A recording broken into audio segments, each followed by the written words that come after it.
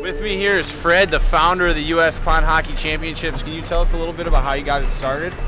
Yeah, uh, basically, you know, I was living on a creek. Uh, I had just come to Minneapolis, and I love the idea of uh, just people getting together of all ages, whether they're, you're a three-year-old kid or an 80-year-old kid, Yeah. coming together to play unstructured hockey.